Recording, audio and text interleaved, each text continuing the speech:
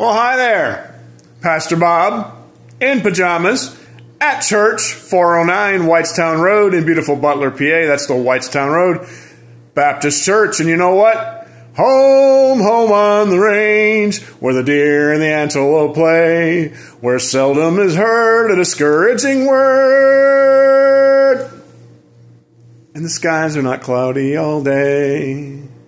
Well, the skies here are cloudy, and it's been that way all day. And the question is the deer and the antelope and the buffalo, would you put that in your chili?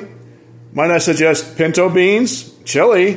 Why, yes, there's a chili cook off October 21st. That's a Saturday from 3 to 5 p.m. right here. But the important thing I want you to hold on to this week is that the kingdom of God is of primary importance. Look it up. Matthew chapter 6, verse 33. Seek ye first the kingdom of God. And all that other stuff that you worry about will be added unto you. Oh, yeah. And seek his righteousness too. That's in there. You know, I love you.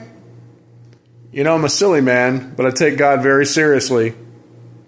Pray you're blessed, not by my attitude, but by what God has to show you.